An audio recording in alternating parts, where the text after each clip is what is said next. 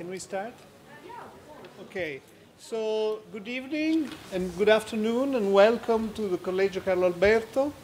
We are. I'm very pleased today because I see a full class, a full room. Last time we had uh, the full, full, a full class, especially full of students, was for Madame Lagarde. So now here we are, we have the student people here and also people online. So we're doing even better. And it's really nice to see a room full of people these days and particularly full of students. I'm really grateful that you are all here. I'm really, really pleased. Uh, we welcome today Massimo Rostagno, and I'm really pleased because he is the Director General for Monetary Policy at the European Central Bank, that, as you, as you can understand nowadays, is not a very crucial role in policy making, not, not very crucial. Uh, we are living in a period which is really hard, and I think it's really a very difficult time for central bankers, particularly so, because on the, ones, on the one hand, we, have, we are observing a rising inflation, very rapidly rising inflation. Uh, on the other hand, because of the war and because of the slow exit from COVID, we are also facing a, let's say, not the growth rate we were expecting in the economy. Uh, we were expecting a rapid, very dynamic exit from COVID, from the COVID period, and instead we are observing a slowing down, especially because of the war. And because of COVID and because of the war, one of the reasons for rising prices is also the fact that there are problems and constraints in the global value chains. So there are supply constraints that are affecting considerably the dynamic of prices that are probably more difficult to deal with by central bankers.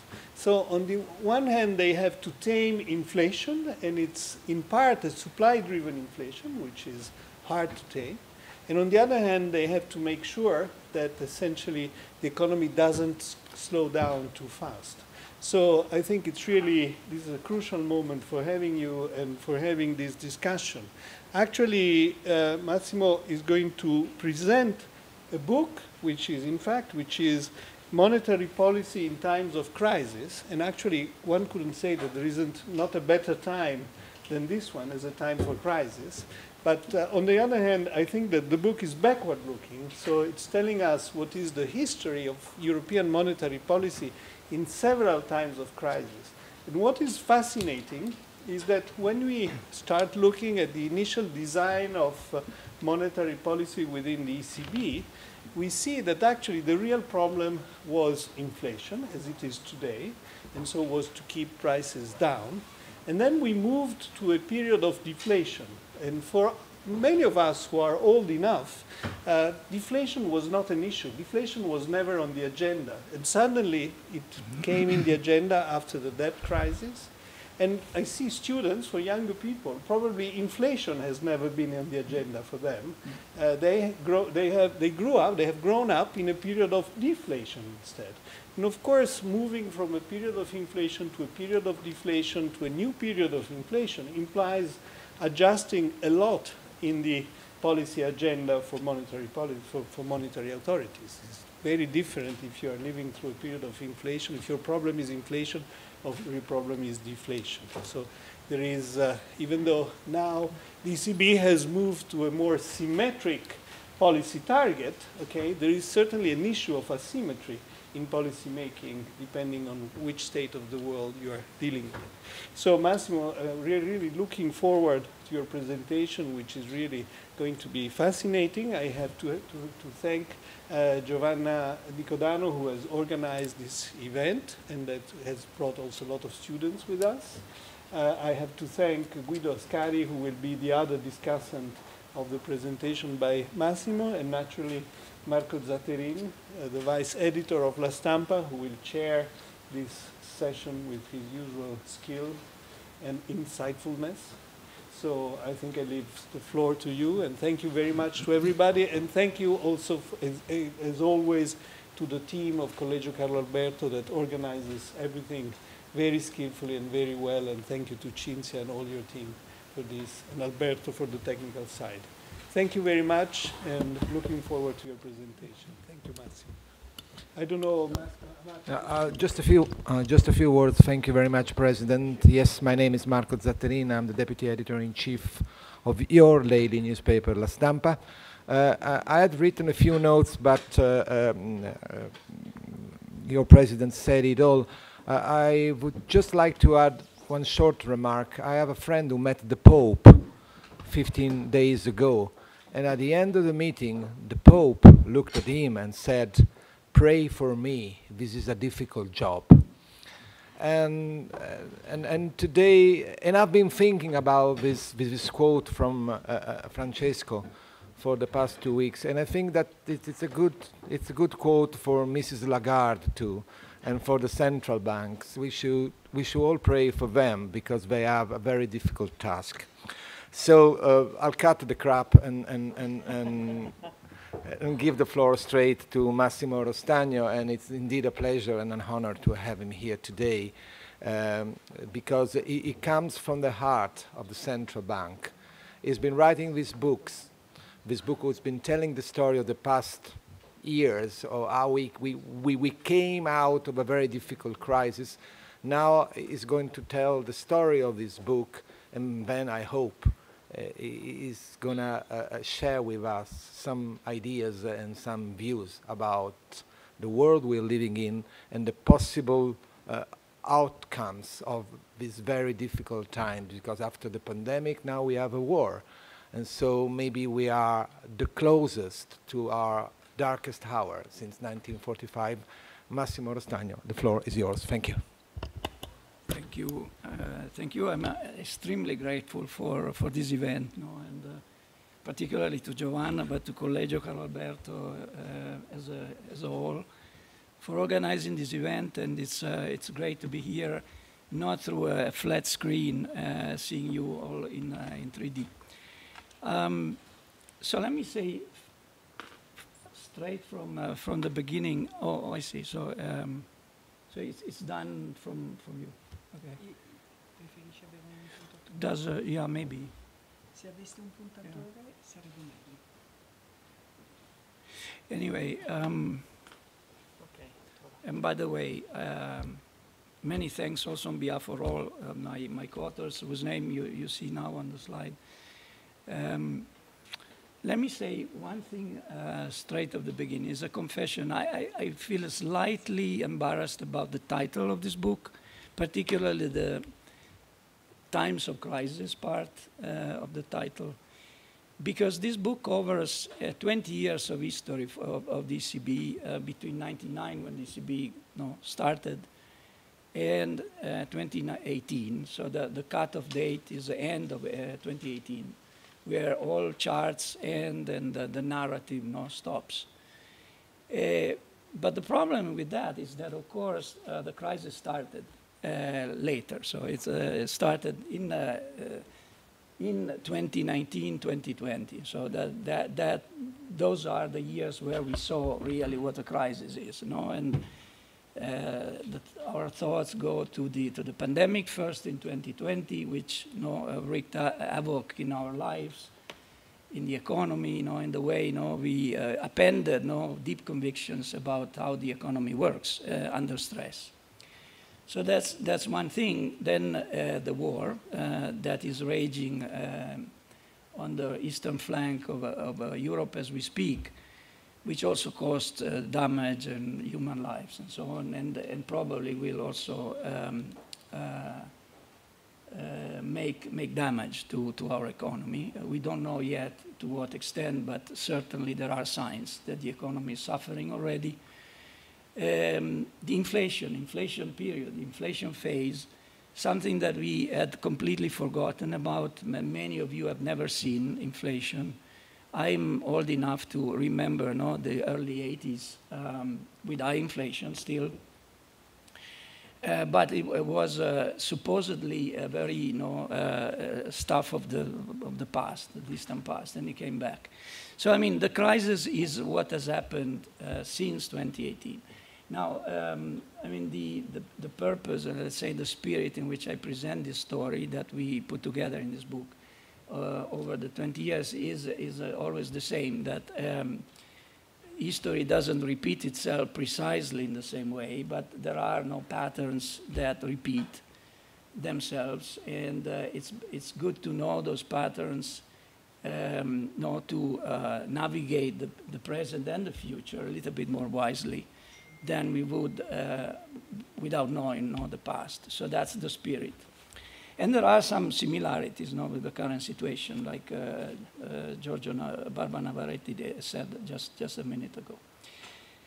Okay, so um, now uh, one, one word on uh, how this, this idea of doing the, the book, by the way, it, it came up as a, as a working paper, then it developed and grew on our, uh, let's say, uh, under our nose uh, more and more, and so it became a book eventually. I mean, that, the book was written more or less in six months uh, in the uh, early, let's say, first half of 2019. And, uh, and the, um, the occasion no, that motivated the book was really to be part of the background material that ECB would publish in June 2019 um, head of the uh, Sintra conference. Now, the ECB has a flagship uh, conference every year annually, which, is, uh, which used to be held in uh, Sintra, Portugal, very nice location. It has been virtual since, basically since 2020, but uh, this year it will be hybrid, so it will be partly and at that time, uh, conveniently, the, co the conference was devoted to 20 years of the euro, no? And so we wanted to do something useful, you know, tapping into our institutional memory and, uh, let's say, putting uh, facts one after the other, lining up events, facts, um, uh, and, uh, yeah, the, the, the, way we had lived uh, through them. Uh, so th that was the purpose. Um, the other purpose was, well, when, when facts were not, let's say, more diffuse, were not totally, um, were, were not speaking for themselves, but you know, you have to tease them a little bit and you have to uh, uh, join the dots. Then um, we wanted to, let's say, um, put on the, the hat that we have, the only one, because there is no no historian among us, they are all uh, more or less economists. So we wanted to consult you know, uh, econometrics, and particularly time series econometrics, uh, structural models, and let's say tease out uh, a pattern of what we, we, were, uh, we were describing. And, uh, and the final, I think, purpose was to be also useful for an exercise that was coming up and was already in those days, those months of early 2019, was already looming in our um, future, which was a, a, new strategy review. No? And the strategy review, in fact, was launched at the end of 2019, so at beginning 2020, uh, just a couple of months before the pandemic started no, raging. But uh, President Lagarde uh, was, was now advocating and uh, really um, championing this, uh, this let's say, introspection exercise that central banks sometimes do, not too frequently. No, it's not that something that you can do any now and then, so it, it has to be infrequent, but they, they have to do it. And we had already our side no, laid on this, on this event coming. And we wanted to be also useful for that one. Now, um, the story is more or less that I'm going to tell uh, uh, very, very non-selectively, very, uh, uh, hopefully very uh, concisely, is, uh, is the, in these three chapters, strategy in action, the second regime, and combined arms strategy. So that's, that's the, the story. And the story is pretty, is pretty simple in, in the, at the end, a very simple story that can you know, be summarized in these few lines. And I could stop here, by the way. Um, so basically, what the, the core uh, contention of this book is that um, there are the, the, the, history of the ECB can be divided, and at that time it's 20, 20 years now, it's a little bit longer than 20 years, could be divided in two halves, more or less halves, and two regimes. Uh, what is a regime, first of all? Now, a regime is, a, let's say, a combination, a mixture a makeup of shocks that from time to time, um, a combination, or uh, distribution of shocks that from time to time determine and drive the, the, the business cycle and inflation developments. Know, for a central bank, inflation is very important. And so um, sometimes inflation is determined by demand, sometimes some other time is, is more uh, supply, supply side. And our contention is the following, that in the first decades of uh, the monetary union, stretching between, say, 99 to 2011, uh, 2012, so a little bit more than half, it was mainly supply side inflationary. So uh, there were forces on the supply, and I'll come back to, the, to those forces in a minute, that were you know, pushing inflation uh, up systematically.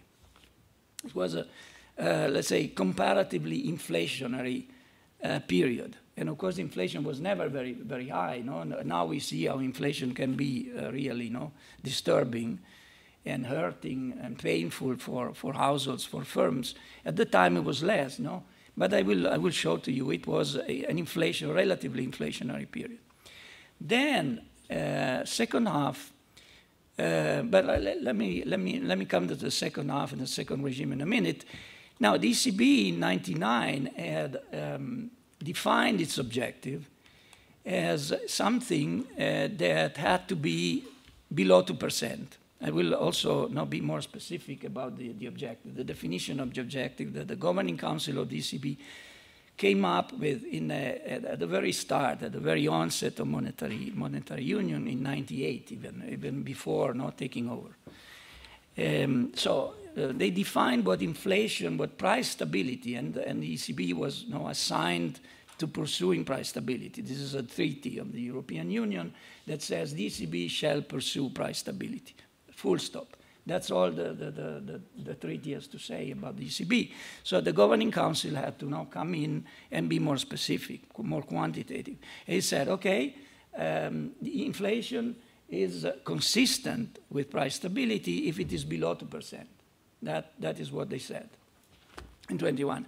And having decided so that the, the only emphatically, let's say, mentioned uh, number that came up in this, in this uh, uh uh, communication was 2%, but it was not a target. It was not a central target. It was a ceiling, a ceiling. So anything above was bad, was outside price stability. Anything below was equally no, consistent with uh, price stability. And we see that there is a problem with that.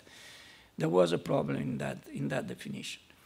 So, but having defined that, uh, the threshold was in, in fact expedient, uh, exposed, because those were inflationary years, and so anytime inflation was pushed by supply side shocks uh, to, to, know, um, to test these 2%, uh, people kn knew that uh, the ECB was not happy about it. So it would uh, forcefully not try to bring inflation back to uh, this uh, price stability area below 2%. So when inflation, infl when expectations coordinate on, that, on those beliefs, then uh, that becomes uh, a self-equilibrating me mechanism so that inflation is never going to, let's say, become entrenched. No? You, you might have uh, bouts or flare-ups of inflation above 2%, but then they, they come back again. Uh, inflation comes back again because in, inflation expectations never catch, catches up, okay, with inflation realization. So that was expedient. Problem is that that was not the, the end of the story. Then uh, another regime came along, which is the second regime. The first was supply side inflationary, the second was demand side deflationary or disinflationary. I mean, deflation, we experienced bouts of deflation, but it was rare. Mainly it was disinflation, so inflation being too low, too low. No? And uh, in, in those years, and that was no, um, the watershed, so the, you know, the dividing line between these, two regimes is more or less the debt crisis that hit the euro area around 2011, but no, with a, with a follow through um, which lasted uh, longer.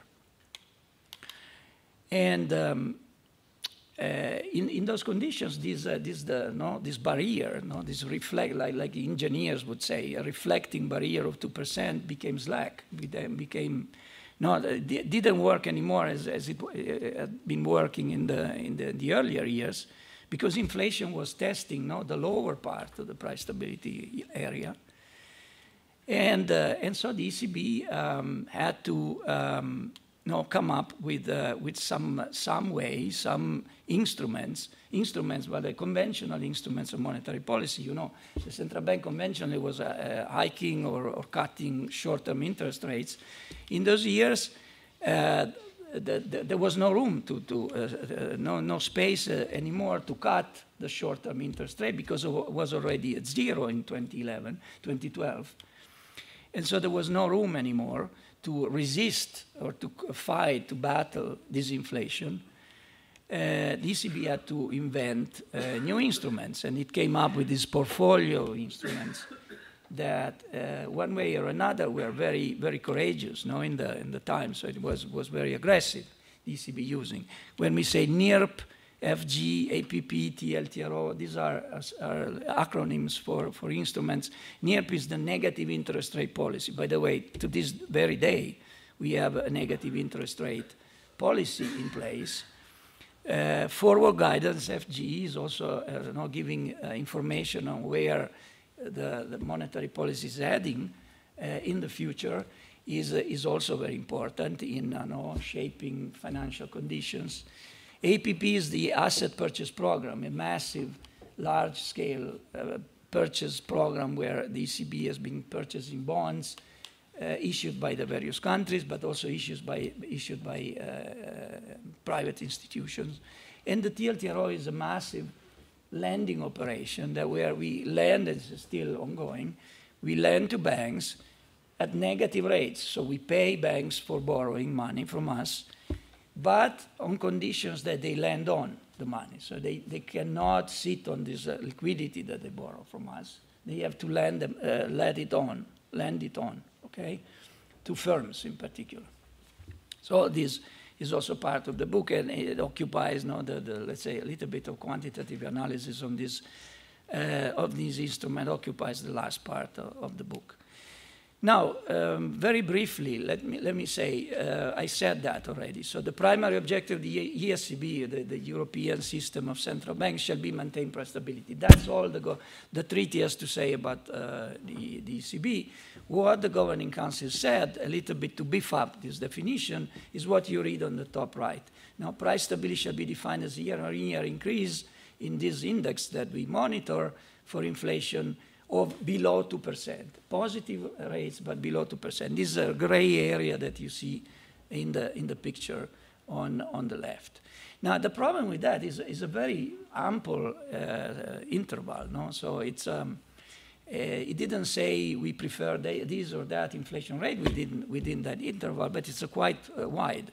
So if 1% or 0.5% is equally desirable as, say, 1.8, then you, you, you, you see that monetary policy or the policy making uh, body, which is the governing council, a little bit lacked an anchor. No? Because how can you discriminate if inflation goes to 0.5? That is, is, the, is, that, is that desired? Is that desirable? Um, if it goes 1.8, is that desirable? So, you know, it's, um, it's a little bit vague, this, uh, this definition. That was the problem. And that was criticized. The ECB was pretty much criticized in those days. Um, and so it decided under the, let's say, um, guide and, uh, um, let's say, leadership of uh, Otmar Issing, who was the uh, chief economist of the time, uh, the, the, ECB embarked on a, on a, first strategy review in uh, 20, uh, well, 2003 and you see what they said at the end of this very, of that very long, uh, well, it was not longer, uh, I, I, guess. It was six months, seven months, but it was very intense exercise. They said, well, they did two things. First, they uh, reconfirmed what they had said in 98. So price stability uh, everywhere and um, in all, um, in all conditions is defined by something that is below 2%. So that was a, a, a, proposition about a state of nature. It was not a target, it was a state of nature. When inflation is below 2%, you are in price stability everywhere and always. That they kept, But then they say within this, this range, which was again very wide, we in fact we don't consider all inflation uh, rates equally desire, desirable. We aim, we aim within this interval for inflation rates that are not too far from 2%, below but not too far. So this is what they said in 2003, which was the definition of the objective that, um, let's say, had a long life, and uh, it was repealed de facto uh, last July, no? when the ECB did the, the, the second strategy review. Uh, again, very long, uh, at some point interrupted by the pandemic, then resumed. A very long exercise, very you know, painful, some in, in, some, in some way, a lot of work. But um, they came up with a, with a different definition. But this definition lasted between 2003 and 2021. Okay, so very good because uh, at least uh, policy had some anchor, no? So you say, okay, we should shoot for rates that are not too low, not too close to zero. They added a space away from zero. No? So uh, having this dot that you see on the left identified within the, the range was, let's say, a steering policy. So it was a, a helping uh, to steer monetary policy, no? Because if you see inflation uh, going higher, then you know that you have tight, to tighten. If you see inflation that goes lower than this no, uh, dot, uh, then you, you, need, you need to loosen policy. So that was good. It added this um, safety margin. But there was a problem with that definition uh, as well. Because if you identify no, uh, a name for policy, a focal point for policy, an inflation rate that is right at the upper edge of this uh, area, and you don't repeal the area, so you, you still say the area 0 to 2% is price stability, then you incur in an asymmetry problem. Asymmetry problem. So you induce, a, uh, um, so you create a system that is inherently asymmetric. And asymmetry, asymmetry, so absence of symmetry is bad for monetary policy. Is always bad for monetary policy. You, you need to be symmetric. Why is that? Because if you imagine everybody believes in this dot, in this aim. And, and so you, you, uh, if that is the case, everybody believes in that, you should expect inflation realizations over year over, uh, over year to uh, distribute uh, according, say, uh, to a bell-shaped distribution, a normal distribution that is centered around this dot, has two no, uh, tails, but you see what happens that almost half of the time you're outside no price stability definition, yeah? Just because the, the, the, the, no, the central tendency is right at the upper edge.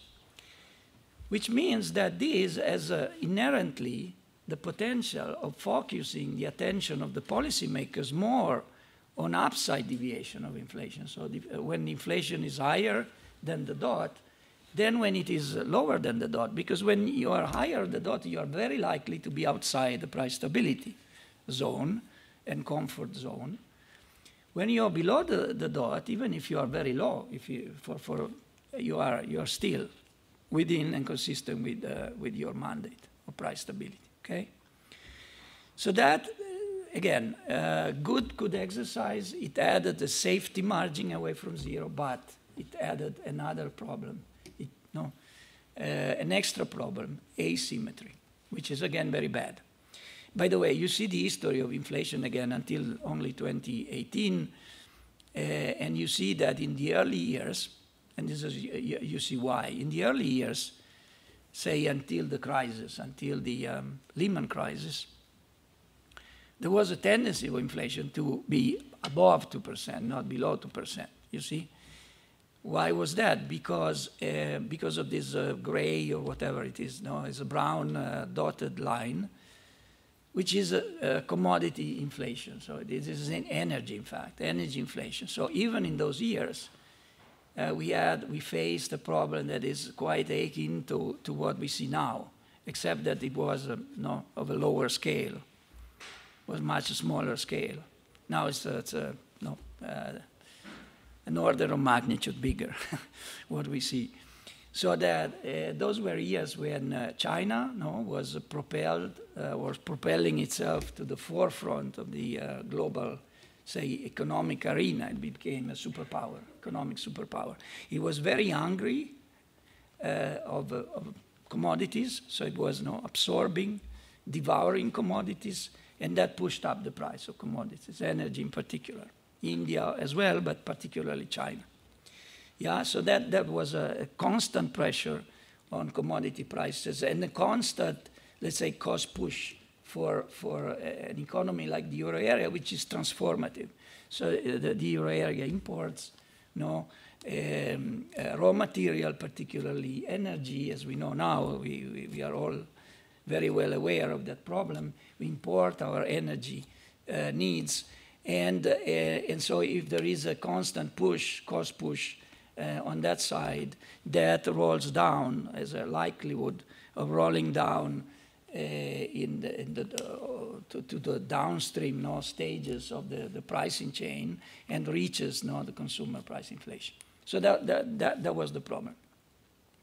But again, having defined this uh, very sharp 2% line, that helped because you see that the blue line never goes back, go, goes very, very above, very much above this 2%, line. No? It never, so it stays more or less there. And, uh, and these overruns are never very big and never very, very lasting. No? They are, they are short-lived. No, they, they have a tendency of correcting themselves. And this is why, this is why, and this is because uh, inflation expectations were internalizing the fact that there was this sharp line for the ECB, this red line at 2%, and ECB would resist, would try to fight back if it saw inflation ever uh, going above 2%. But if you allow for sufficient time in that process, you, you see that core inflation, so core inflation is that part of inflation that is calculated on all goods and services in the basket except food and energy. No, you, you, strip out food and energy and you recalculate inflation and you, core, and you find core inflation, what we call core inflation. In fact, we call inflation eggs, uh, food and energy. But it's, it's also called core inflation. That core inflation, if you want to maintain uh, overall inflation, including food and energy inflation, at around 2%, that means with, with, with those uh, no shocks and no repeated shocks of energy and to food and energy. By the way, food also was, was increasing very much because the Chinese had no, started to consume also food. Um, if you want to keep uh, inflation, overall inflation, more or less at 2%, it means that core inflation quite mechanically has to make space, not to, to, to, go, to go down. And this is what you see here in the, um, in the green a green area. So the green area, well, the dotted blue is the core inflation, as I said before.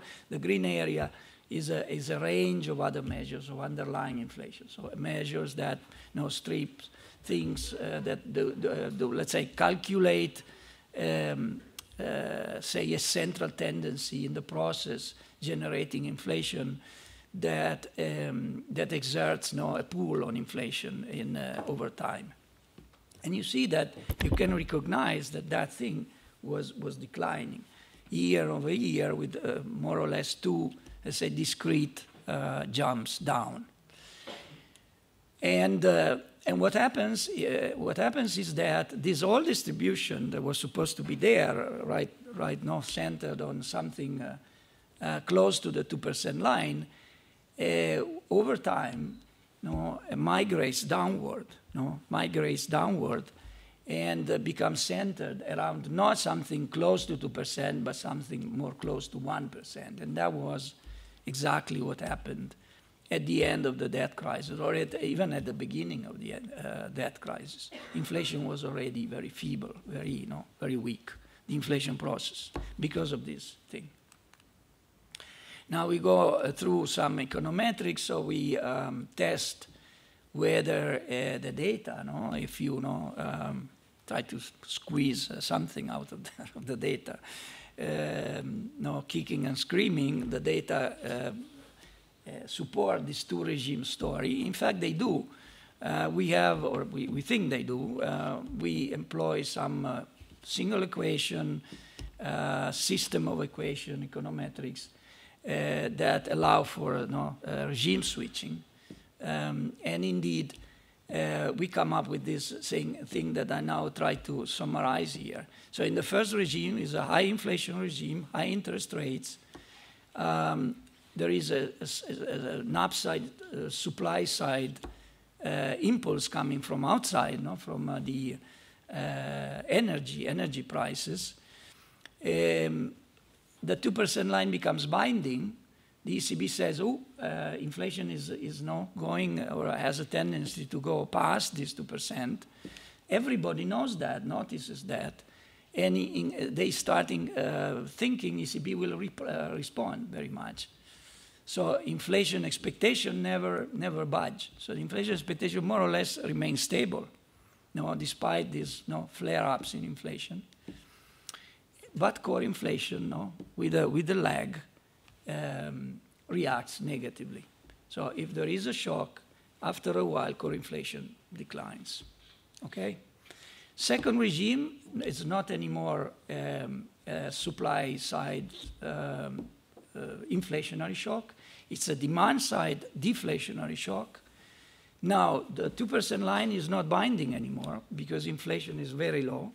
What is also very low is the interest rate, because when inflation is low, no, the, the monetary authorities bring in, uh, interest rate to their effective lower bound. At the time, it was supposed to be zero, the effective lower bound. Now we know it's, it's, a, it's a, little bit lower because we have no, cut interest rates to below zero, so in the below zero area. But at the time, it was supposed to be zero. So uh, agents say, well, what, what is going, uh, what, what, what is the ECB going to do? No, it, it can't do anything anymore in the way of resisting this, this inflation. So inflation expectations now start reacting in the wrong way, and they become, again, an amplifier no, of uh, this inflationary force. So this is the story, basically, that we have. Now, by 2014, uh, things were pretty bad in terms of inflation. You see here no matter how you measured inflation, you know, if you took an average, historical average of past inflation, uh, I don't know, GDP defined inflation instead of consumer uh, index, uh, you, you took uh, various definitions at various horizons of inflation expectations, and you put those uh, no, uh, orange dots on this chart and comparing it with the, the, the bulk of the, the, the distribution of that measure, over the uh, history of monetary union, you saw that inflation was going off the map. No?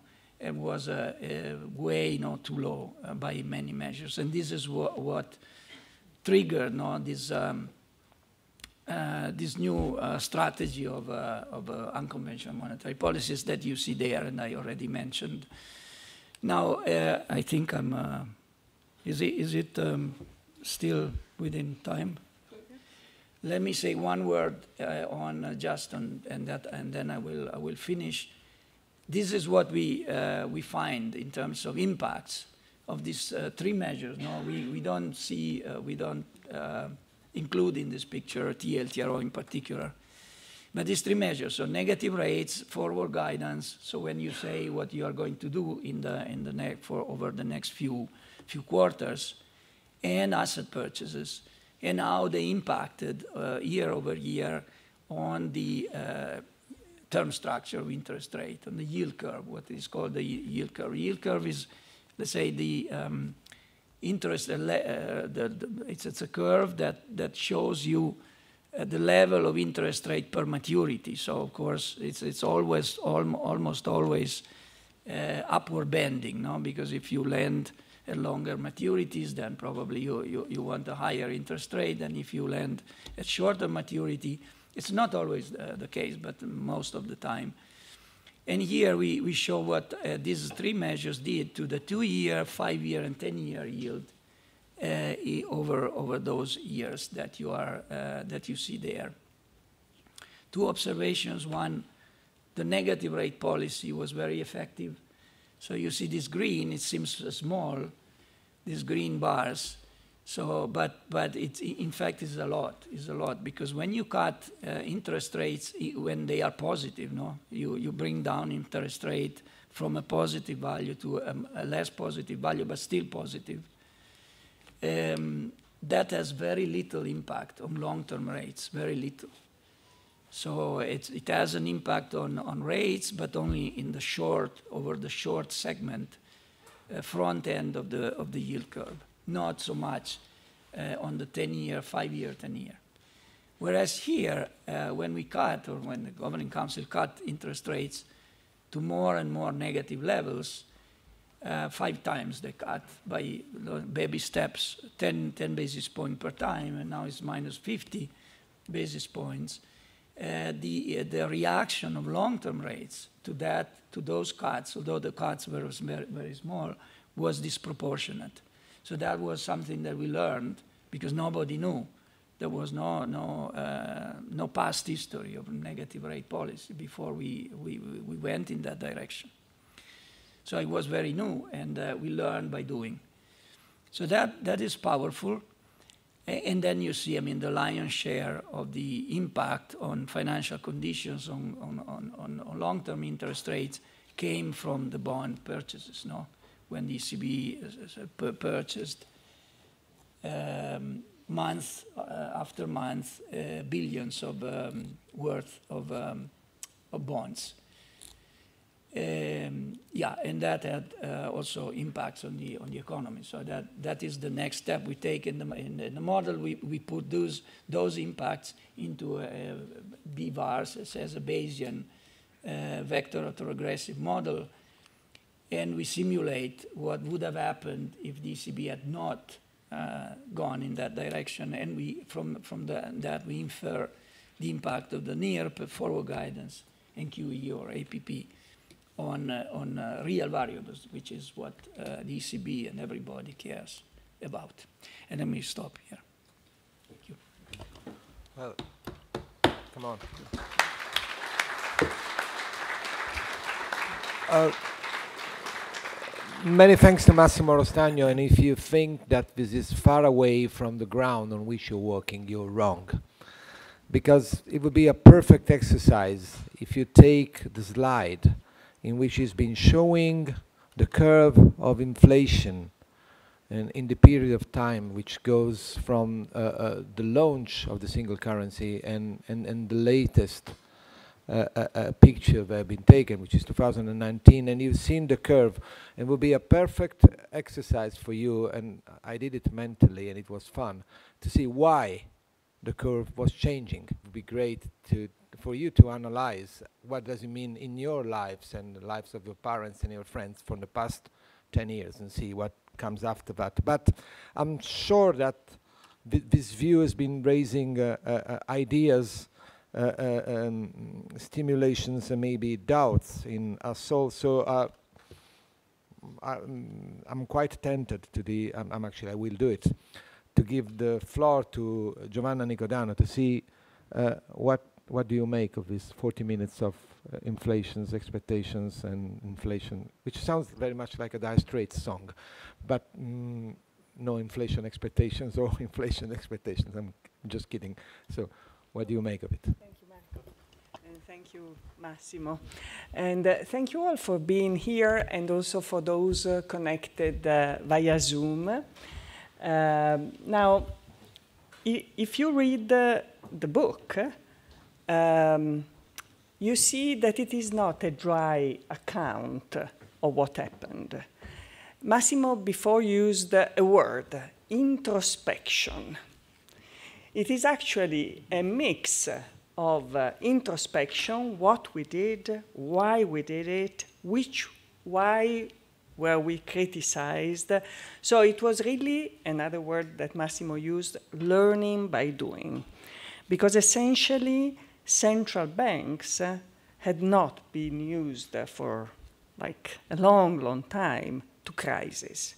And suddenly they have to face this either excessive inflation relative to the, to the objective or too low inflation. And as you know from what we discussed uh, for two months, Def the risk of deflation is terrible because it leads to deflation, deflationary expectation, a spiral, deflation spiral, bankruptcies, unemployment, a very bad movie you want to avoid. But at some point, you have, uh, you cannot just decrease the interest rates because there is this zero lower bound. So the world is asymmetric. You cannot do it. So this long introspection, this long uh, reflection of what, uh, of what had, had, happened in the first 20 years of the young European Central Bank lead us uh, to this strategy review and uh, to a change in the, uh, in the objective, uh, in the definition of price stability. What is price stability now? Maybe I stated uh, not enough uh, tightly, but uh, I say a level of 2% in the medium term. Okay?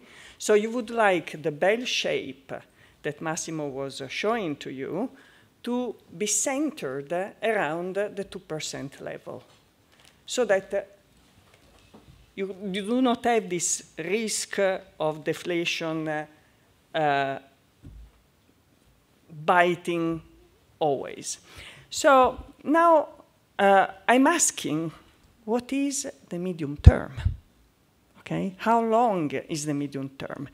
And uh, I think uh, that the question is especially relevant to the current situation, if I can see the next slide, because uh, I want to quote uh, from uh, the strategy review, essentially what the central bank is saying, well, it allows us some flexibility in fighting the different tendencies. The medium-term orientation of the ECB's monetary policy strategy takes account of situations in which inflation on the one side and economic activity and employment on the other side temporarily move in different directions owing to supply-side disturbances. Now, these days, uh, it's not only it's like from energy, but even before, during the COVID crisis, we had uh, all sorts of shocks, both demand and supply shocks, with uh, uh supply chains uh, being disrupted, etc.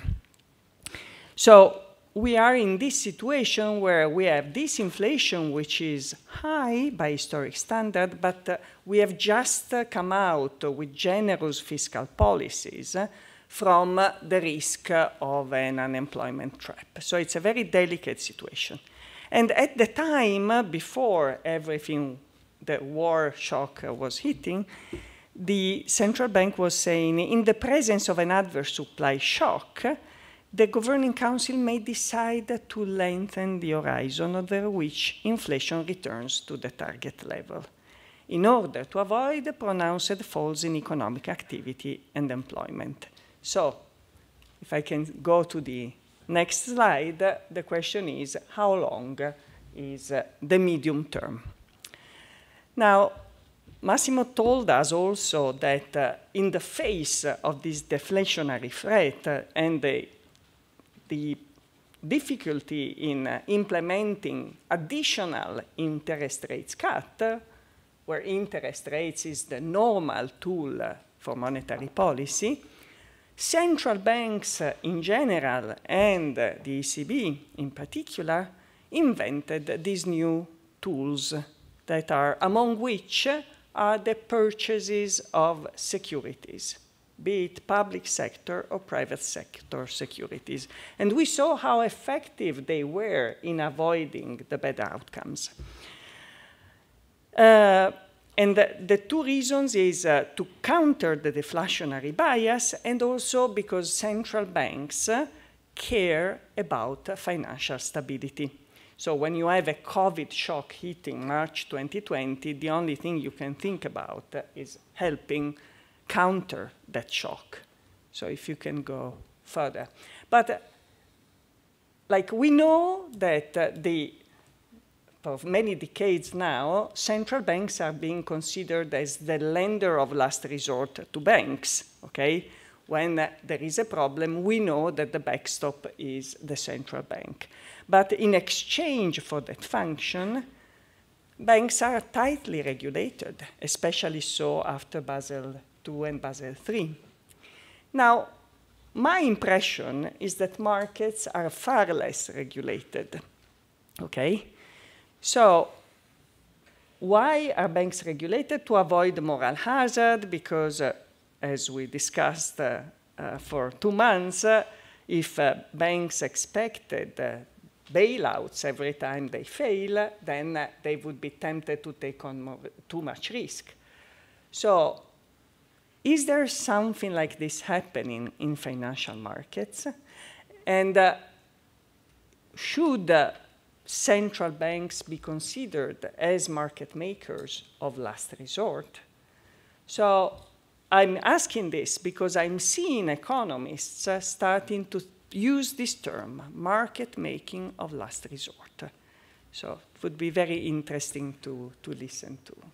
I stop here. I have another question, but I don't want to steal the questions from the floor and from the connected people. So. Uh, thank you very much, Professor, and we'll see if we will have time later, and I hope so. And now I give the floor um, to another distinguished guest, uh, which is Guido Ascari. He's professor of economics at the University of Pavia, and is also economic advisor of the, uh, the, Dutch Central Bank, which is the central bank of the Netherlands. Professor Ascari.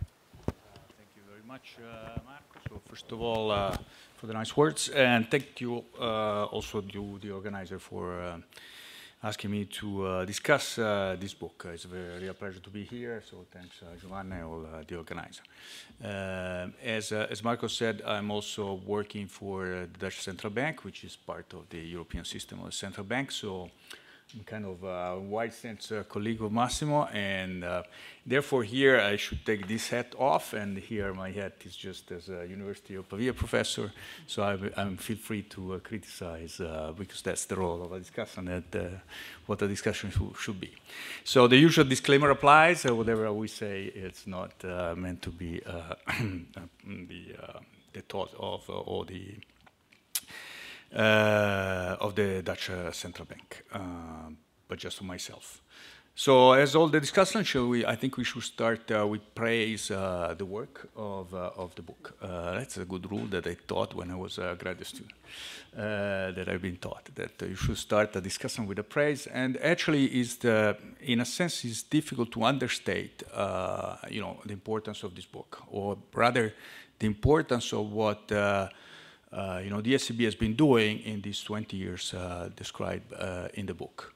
Uh, the ECB is going through uh, very difficult times to navigate, especially after the financial crisis.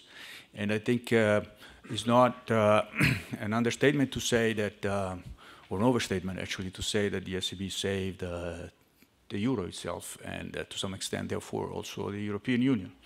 So uh, it proved to be for probably the most important uh, I think, institution of the uh, um, European Union architecture. And therefore, we need to be thankful to the ECB and to Massimo in particular. There's been, a, you know, been a, a lead role in uh, the ECB decision uh, during uh, the financial crisis. So I think we need to, to take that into account and whatever uh, we say uh, today. Regarding, uh, so going back to the book, now I go to the, you know, try to get some food for thought and some criticism quote unquote. Uh, so I think the narrative of the two regime is uh, intuitive and also kind of plausible. You know, the idea that um, there has been a change in the definition of the target, and that uh, has been due to the fact that uh, in the first uh, there would been a first regime due to uh, negative supply shock or inflationary supply shocks. And in that regime, the definition of the target below 2% worked very well because it auto self-stabilizing properties. But uh, in the second regime, uh, in front of a deflationary demand shock, actually that definition didn't work very well because they induce uh, deflationary spiral and uh, deflationary uh, inflation expectations. Uh, that that that all's good. what I would do, we talk about six points if uh, I have time, but Marco will tell me if I have to stop, and uh, eventually I will uh, talk about uh, the QA uh, afterwards. So one is about the target, the, the other one is about the effective lower bound, the two pillars, the medium term, and the new toolbox. So these are all the things that uh, extensively uh, Massimo and his teams, uh, his team um, talk about in the book.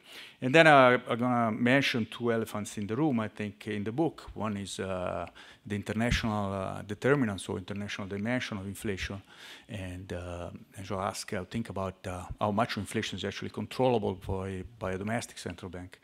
And then the other one is uh, fiscal policy, which is mentioned at the end of the book, but uh, I think uh, it's difficult to talk about uh, monetary policy inflation without uh, taking um, a stance uh, and a complete analysis of fiscal policy itself. So um, I will try to talk about the book and also to ask what are the lessons that we can learn for today, because obviously a lot of, you know, the book end in before the pandemic, and uh, lots of things had, had happened by then. Uh, so uh, the pandemic crisis and the war crisis has, has, has, has, been taught, and also two strategy reviews, one by the Federal Reserve and another one by the ECB itself. Um, so let's think about the target first. Uh, so the narrative is really centered about this definition of the target, the change in the definition of the target from below 2% and below but close, and then 2%.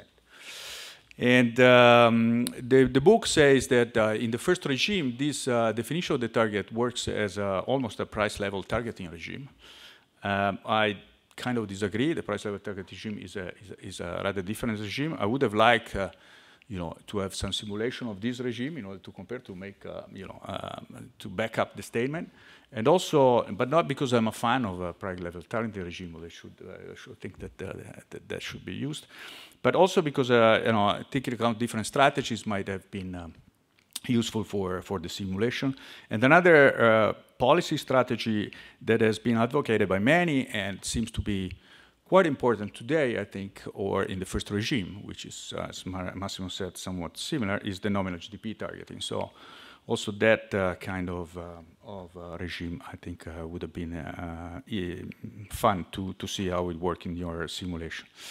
Um, the self-stabilizing, so and the role of the um,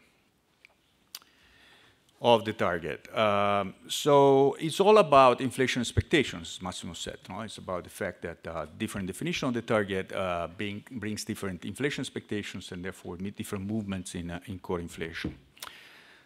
And that's, you know, the main narrative, which is you know, surely important, but maybe uh, it's not the only thing that, uh, that went on. And uh, in particular, the role of inflation expectations obviously are important. There's entire literature, that's what the Keynesian model is about. But uh, recent literature actually put a lot of doubts on the rationality of expectations of agents in the economy, both in households and, um, and firms. Uh, you know, that's the literature that follows, uh, you know, the Coibion and Gorodnichenko main, uh, main work in the JPE and others that follows. And in particular, then one has to ask the question, do actually expectations uh, change when you change the definition of the target? Remember, this definition of the target is really kind of insider thing, right? So it's about below 2%, from below 2% to below to close 2%, and then it's 2%. So then you, you answer the question, how much this is actually going to matter for inflation expectations uh, formation of agents in the economy? That, uh, that are not uh, probably so close. So there's a paper by Coibion Gorodnichenko, Knotek, and uh, recently on the US uh, that is looking exactly at this. So he's looking at the uh, strategy view of the Federal Reserve, that they change uh, the, the strategy actually in a quite substantive way because they move to what it, we can call the average inflation targeting, which is rather different from what they did before. And therefore, they asked people, they divided the sample into uh, people, into, into groups. In one group, they gave the information about the, the change in the strategy. In the other group, they didn't. So I quote from the abstract, uh, those hearing news about the announcement do not seem to have understood the announcement. So that's the first thing, and that's what, uh, you know, if I explain to my mother, she probably would not understand either. Uh, they're not, or my father, um, they're not more likely to correctly identify the Fed's new strategy than others. Nor are their expectations any different. When we provide randomly selected households with pertinent information about average inflation targeting, which is the new strategy, their expectations still do not change in a different way than when the households are provided with information about the traditional inflation targeting. Even one year after the announcement, US households remain mostly unaware of the change in the strategy and of its implications, right? So again, this idea that this change in the wording, which is really a slight change in the wording, affects uh, inflation expectations uh, much, it's uh, maybe doubtful. And there's a recent work by the Dutch Central Bank, by Gabriele Galati and uh, uh, Martin Van in particular, that actually do the same thing on uh, Dutch households data for the ECB strategy review.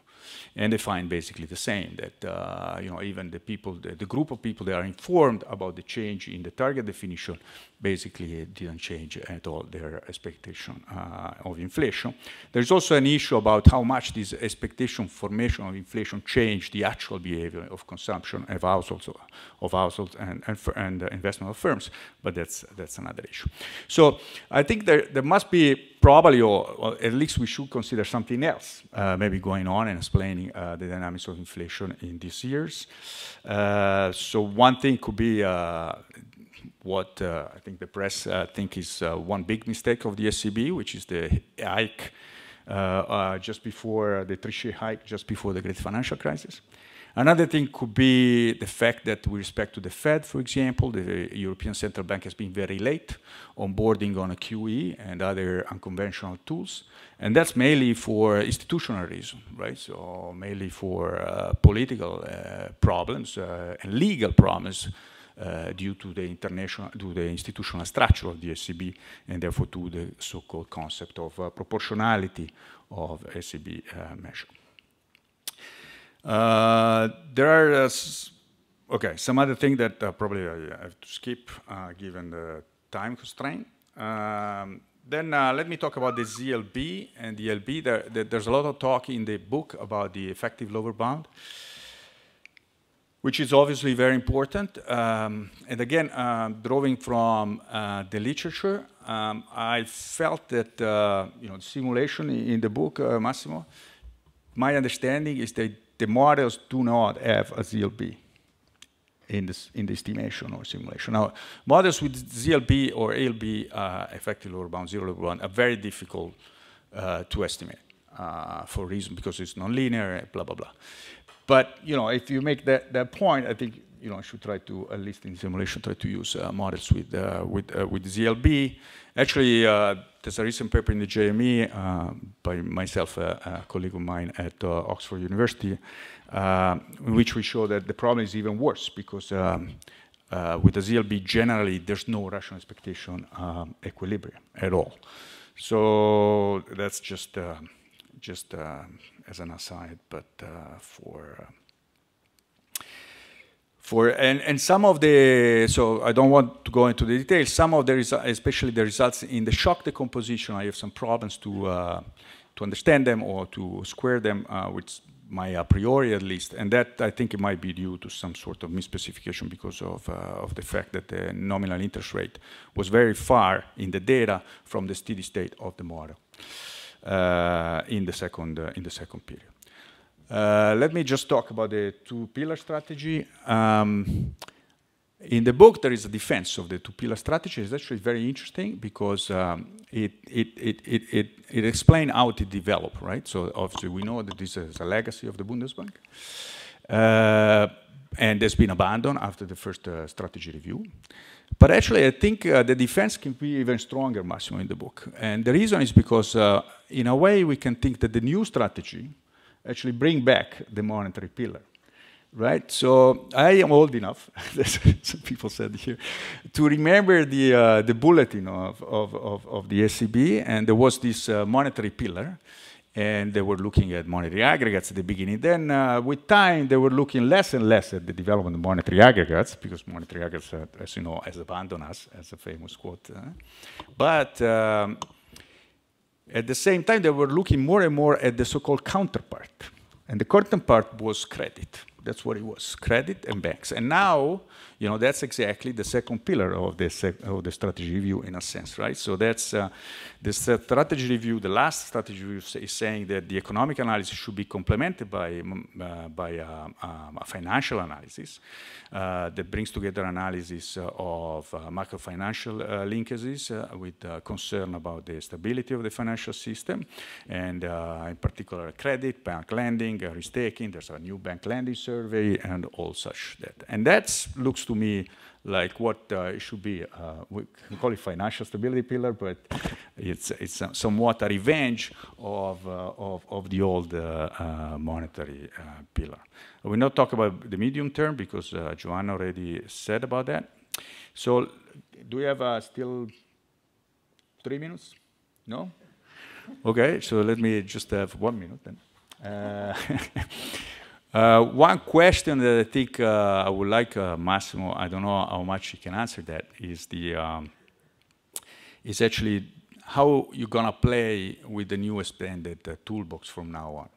So this is a matter of sequencing, it's a matter of fragmentation. Uh, the ECB has said a lot of uh, lot of times that it's not gonna end it's going to first end, uh, you know, the net asset purchases, then increase the rates, and then eventually think about uh, tapering uh, the stock of um, of, uh, of, um, of, of assets, uh, the so-called QT or quantitative tightening.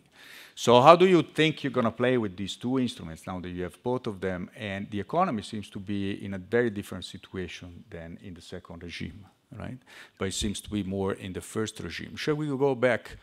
To inflation targeting as defined in the first regime that worked very well uh, according to your uh, narrative, no? the below 2% because of the self-stabilizing role in a situation like today of inflationary uh, supply shocks. And let me stop here, and if I have time, I will talk about the international dimension of inflation. Okay.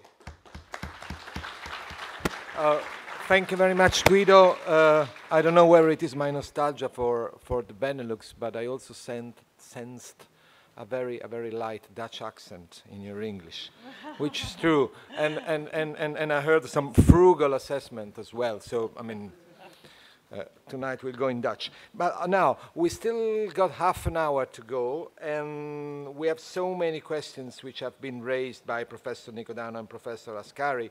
Uh, how long is the medium term, uh, and, and, and the financial market and the risk of moral hazard, uh, uh, the, the, the, delayed resource interventions and then a new toolbox, and the relation between expectations and targets.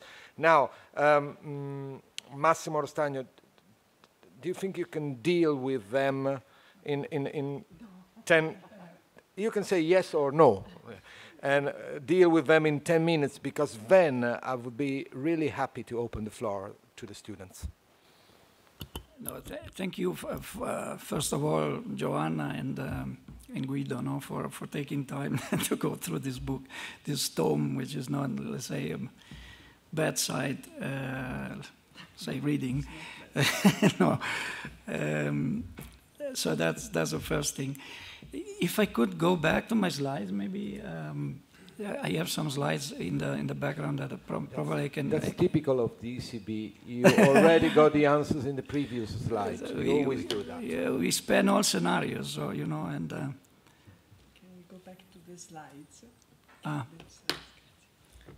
Uh, anyway, no, on, uh, on the medium term, that's an important, an important question, in, fact. No, the medium term was, okay, thank you. The medium term was, um, le le let me make uh, one, um, one remark, was always a mainstay of the strategy, even from the very, very beginning. So it uh, made its way into official communication already in this press release of 98. Now what they say, price stability is da, da, da, and that has to be delivered in the medium term. So they, they always recognize the fact um, that uh, no, uh, the, the, the, control that central banks have on inflation, on the process, data generating process for inflation, is, doesn't mean that um, central bank can control inflation today or tomorrow. And by the way, what Christine Lagarde said uh, two days ago, three days ago in, uh, in Washington, um, if I'm if I'm raising rates now, I'm not gonna you know uh, control energy prices or the bottlenecks. So this is outside the scope of monetary policy. So monetary policy does uh, best when it looks into you know, uh, horizon at the end of horizon over which it can you know, legitimately and realistically think it can control inflation. And that's, let's say, two, three years. Um, now, there is a, uh, so, so that was always, no, um, it was not totally in the strategy statement of 98. It has now been officially, you know, promoted to the, the constitutional uh, script of the ECB in uh, July 21, but, but it was always there.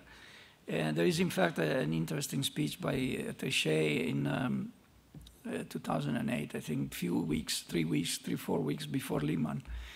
Um, and uh, the ECB was facing the same problem, no? another bout of energy-induced inflationary uh, spike in the euro area. That was the summer to 2008. And uh, he was saying uh, we, we can't do much except one thing, which is to be, remain vigilant. He, he, liked this word very much, to be vigilant. Vigilant that what is happening now doesn't infiltrate inflation expectations, which means that it doesn't create the condition for this to not uh, become endemic, this uh, inflation problem to become endemic. At the time, inflation was around 4%, of course, very, very high number for the ECB. Um, and now it's seven, more than 7%, 7.4 anyway, but so that that was the, already the concept. No, the, uh, what do we say about um, about the medium term, or what what are what what are the lessons that I mean the, the history of the ECB, um, uh, let's say, can can be used to no uh, distill. Uh, well, first of all, even if you are, and again, Lagarde recognized that a few few days ago even if you are confronted with a big inflation problem, inflation now is, is, is spiking, don't jump the gun unless, unless you have uh, reasons to believe that if you don't do, uh, if you don't take action, um, again, no, um, the uh, current inflation is going not to uh, translate, to, to influence inflation expectations in the medium term, because that is what can transform uh, something that could be temporary, and we have all the reasons to believe that what we see now is temporary. Uh, I mean, the, the temporariness of this, uh, of this inflation um, phase is, uh, is, no, has become longer. Uh, but, but certainly is, is temporary because it's supply side, no? it's energy related and it's bottleneck related. No? The fact that there are imbalances in demand and supply due to what happened two years ago, mainly. No?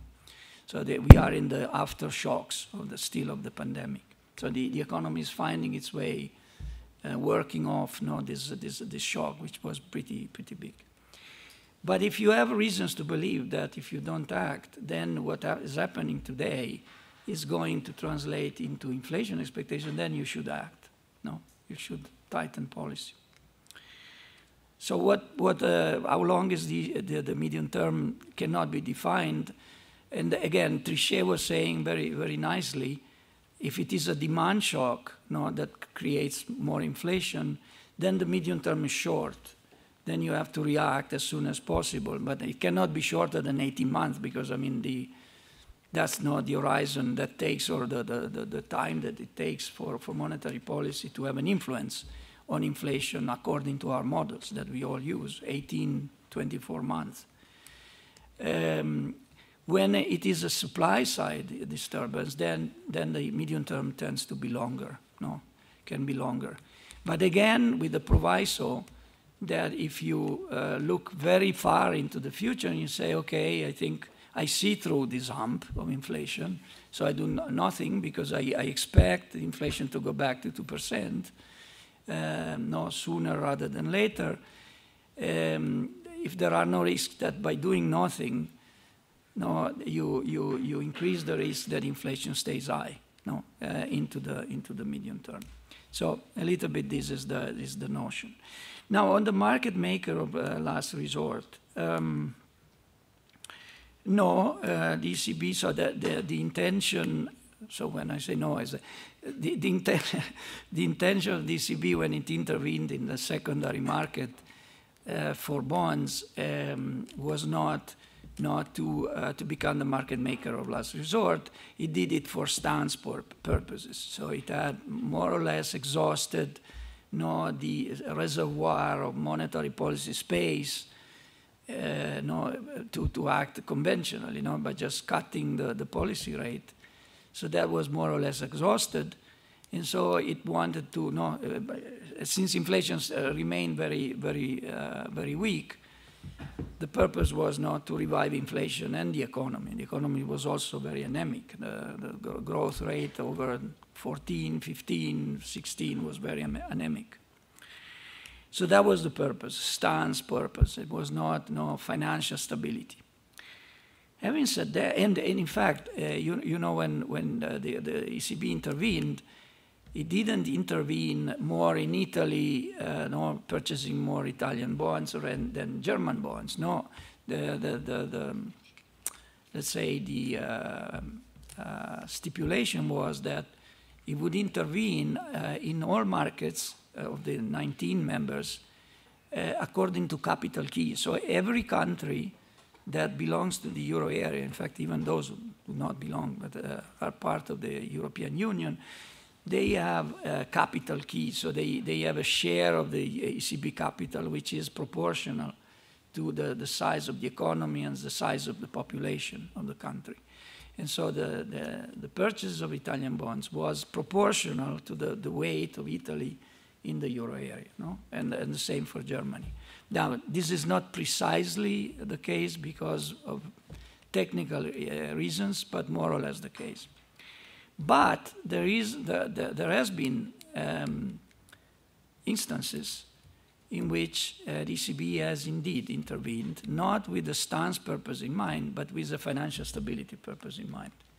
And the reason is that the ECB, in order to know, make sure that it can intervene and can know, control inflation and can uh, be in charge of monetary policy, it has to make sure that transmission also works, is viable. And in a currency union, transmission has a tendency sometimes to not work, you know, and to, let's say, uh, have cracks that you know, run across country, country uh, borders. So just to make you two examples, one was the debt crisis when no, Italy and Spain and the, the bond, bond, yields of Italy and Spain skyrocketed because there was no uh, risk that Italy and Spain, particularly Italy, I would say, would be ejected by the, the that there was no the, the talk in the in the markets would be ejected from the uh, monetary union, so it would not be able to pay back no its liabilities in euro, but in no, uh, new, a new currency. So that was the risk. That was no, uh, uh, producing uh, a lot of no, uh, tension and stress in Italian bond markets, and similarly in Spain. So in those cases, ECB intervened in order to preserve the viability of transmission, so in a targeted way. So purchasing Italy, purchasing Spain, Greece, Portugal, Ireland at the time. There was another in instance, much more recent, which is the PEP, uh, um, Pandemic Emergency Purchase Program, which is a huge program that was invented uh, in, a, in, a, couple of days uh, after the pandemic. Uh, was declared as such, so that was declared a pandemic, and had already had some, some very bad implications for, uh, for markets, particularly Italy, again, uh, because Italy was hit, you know, as you remember, sooner and uh, in, a, in, a, in, a, bigger way than, than other countries. So this PEP uh, program intervened in all countries, but more on, it, on Italy, more, a little bit more on Spain, and less in France, for example. So there was this no, flexibility. Now the, the, the buzzword here is flexibility, and is a, a very big concept now which is um, uh, no, uh, in, in, the, in the latest uh, couple of um, policy statements in, uh, in uh, that in February and that in April. But that, these are two different things and two different modalities of interventions. One is stance and the other one is transmission. But again, in a currency area as diverse as the, the monetary union is, um, the ECB has to take care of the tra of transmission, no? and uh, that it doesn't know uh, that uh, monetary policy transmits more or less evenly um, across border. Now, on, uh, on Guido, thank you, uh, Guido, many, many questions, many tricky questions also. Well, also Giovanna's uh, were, were, tricky.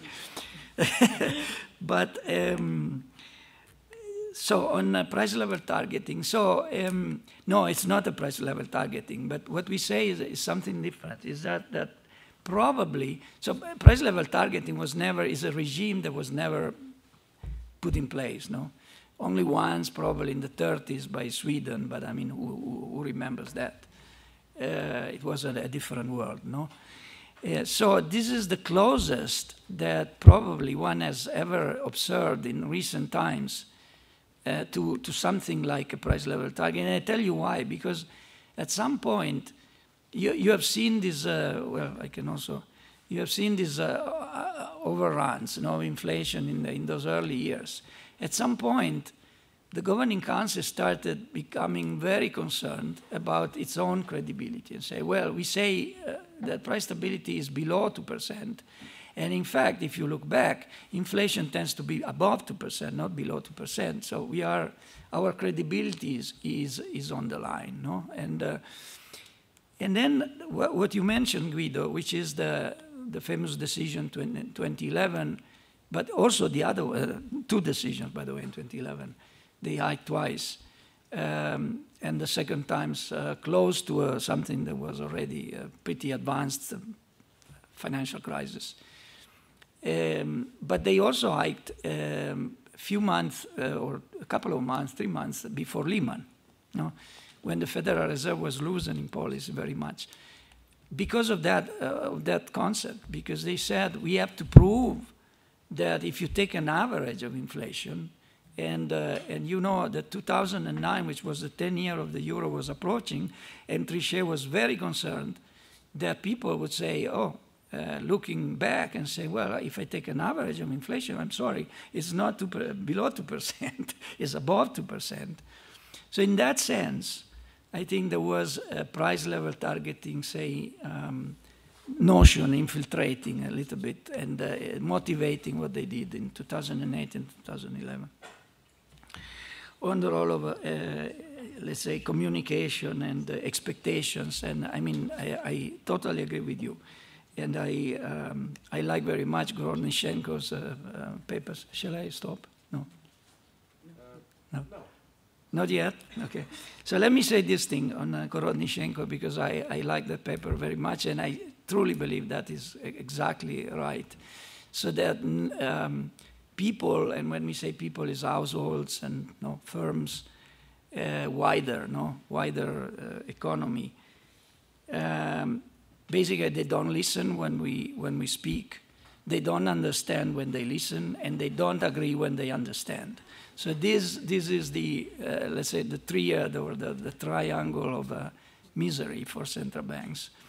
Um, but um, nevertheless, uh, there are people who listen and understand and take action, and those are the market traders and investors.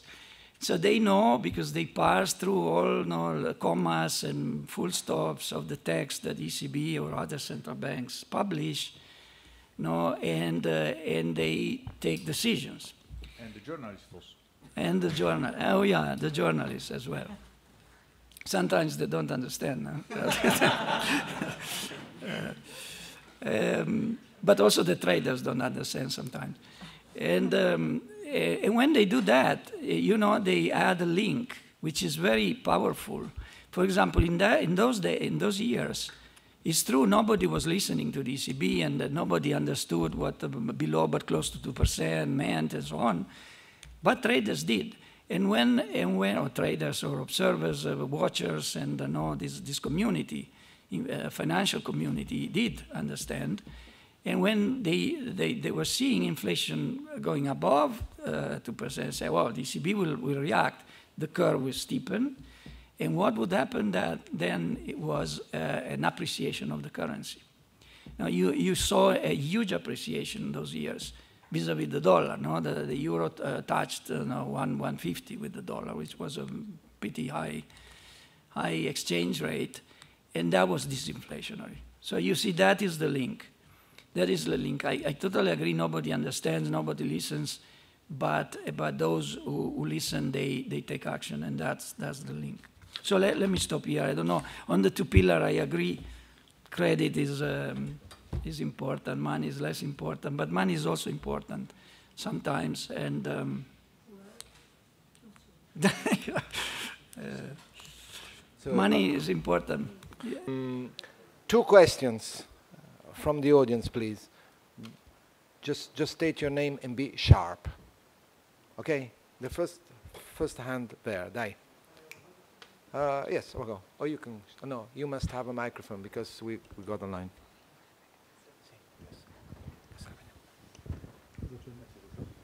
Okay, sorry. Be sharp. Yeah, uh, this is Matteo Fatale. Thank you for this event. And I'm the one who emailed you asking for the book. And I'm sorry. So um, thank you for the um, for the answers to Professoressa Nicodano.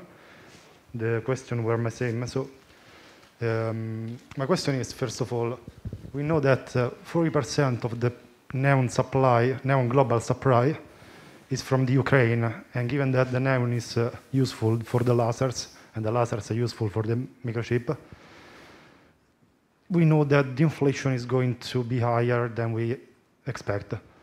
Then we know that, for example, on the Shanghai's harbor, the waiting list for the for the um, is at a um, record level, and then uh, the inflation will be higher again. The, um, the shipping costs are, uh, will be higher. So I know that now the ECB um, must must say what is going to do tomorrow and what is going to do the day after tomorrow in order to drive all the expectations. Is the ECB going to do it or what else? Okay, Let's see if we have a second question. Any? Can you repeat? Ah. Okay. Or not? So, do we have a second question? No, no, no, no. Elsa, we, you've been a student.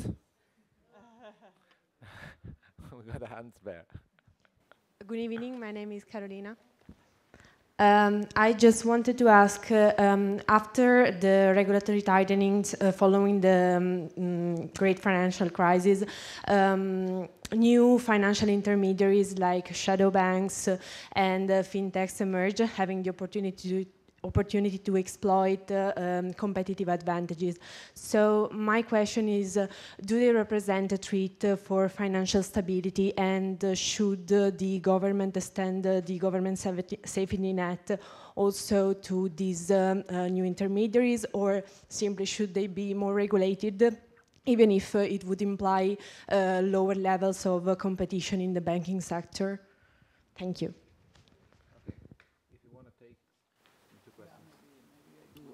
On um, on saying what what the ECB is, uh, is going to do, I, I think um, ECB has been very has become very know, um, specific. I would say even on uh, what is going to do even even uh, uh in the in the short term. And this this is what what you see now on the screen is um, is just um, let's say a literal quote of the of the last last monetary policy statement.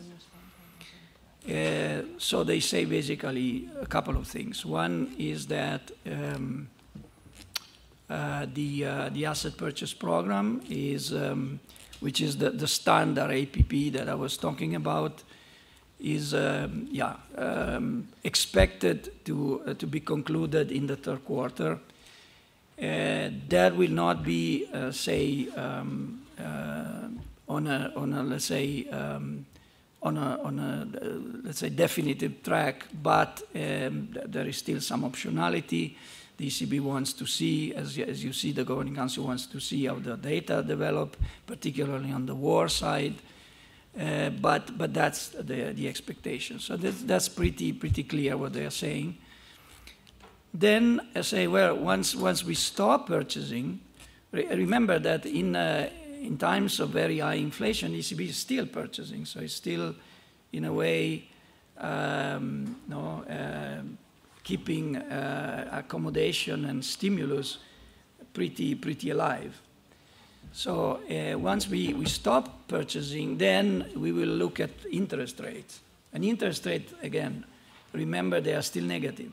So the policy rate is still negative. It's minus 0.5%.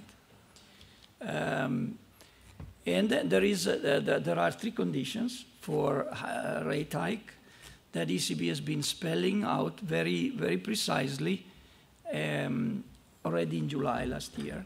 So there are three conditions. They need to see inflation going to 2% um, early in the projection horizon um, and remain at 2% uh, thereafter. So they, they need to be very no, uh, certain uh, and reassured that when they see inflation rising to 2%, at the time, because in July inflation was below 2%, now it's higher, but, uh, but that was the condition. We, we want to see inflation to go back to 2% and stay there for the remainder of the projection horizon. We do projections every, every quarter, no? and we project inflation over a two, three years, three-year horizon. Those were two conditions, and the third condition was an underlying inflation. So the, the stuff I was uh, showing to you before, no? the, the core or underlying measures of inflation, they want to see underlying measure of inflation consistent, so going measured now, going to levels that can give reassurance that in the medium term inflation will remain at 2%. Because if core and other measures of underlying inflation go back to 2%, that is a good sign that no, the inflation process is strong enough to remain at 2%.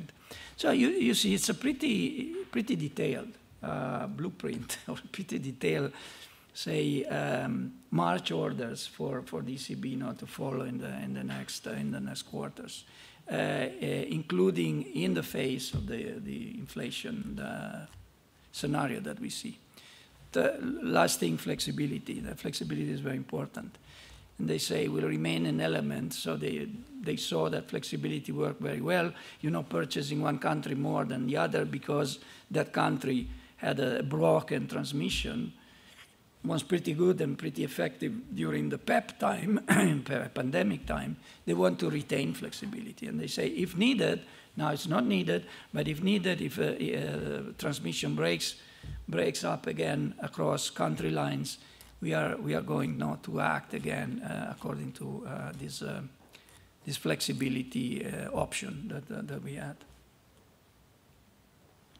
Uh, on non-banks, well, non-banks, uh, of course, um, central banks would always say uh, more regulation is better because we would be more relaxed no? Um, uh, in, uh, in dealing also with, with non-banks. You know, um, the ECB um, lends and can lend only to credit institutions, among other reasons because credit institutions are regulated. And so there is somebody who is looking into them and uh, now seeing uh, testing that they are sound institutions. When, when they borrow from the ECB, they, they can pay back you know, what they borrow. Uh, and so that, that is one reason why non-banks are, uh, are not uh, included in, in our counterparties, uh, not considered counterparties. If, it, if they were regulated, probably they would be included in, in counterparties. And they would benefit from that because, uh, I mean, banks benefit from you know, being able to borrow from the ECB, probably, uh, including at negative rates now. So it's, it's pretty good, um, let's say, good um, uh, uh, arrangement. Okay, thanks, Massimo. I should close it down, but, but Guido Ascari asks for the floor for 60 seconds. Yeah, just a very quick uh, thing that might be useful for students, uh, despite maybe obvious to us, uh, related to the medium-term orientation. One reason why a central bank should be forward-looking is that the effects of a monetary policy uh, measure, it takes time to affect uh, the real economy, right? So you're not gonna react to what is happening today, but you need to think about what's going on, and that's why there's a lot of emphasis on what will be inflation at the end of the projection horizon, right? Because that's, uh, you know, uh, the polar star for the uh, for the decision. Well, but in the name in the name of optionality, gradualism, and flexibility, that's 30 seconds to Alfonso Iozzo, but 30 seconds. a question. When will uh, you write the next book? Will be monetary policy in times of war? time of crisis. And the crisis, we have seen what crisis, a real crisis is. Thank you. Hope not. It will be after the war, I hope. So I, I, thank, I thank everybody for joining us either in streaming and here at Collegio Carlo Alberto. Uh, uh, Professor Nicodano for setting the stage for us and Guido Ascari for bringing us a little bit of Dutch flavor to our debate and of course to Massimo Rostagno who's been our uh, relevant and important host who's given us the young person's guide to inflation expectations. I thank you very much. Please read La Stampa. We have uh, daily things and we no lies, uh, and no misunderstanding. Read La Stampa. Thanks everybody for joining us. Uh, thanks to Professor Barba Navaretti for hosting us. And see you soon. Uh, uh, be happy and lucky. Grazie.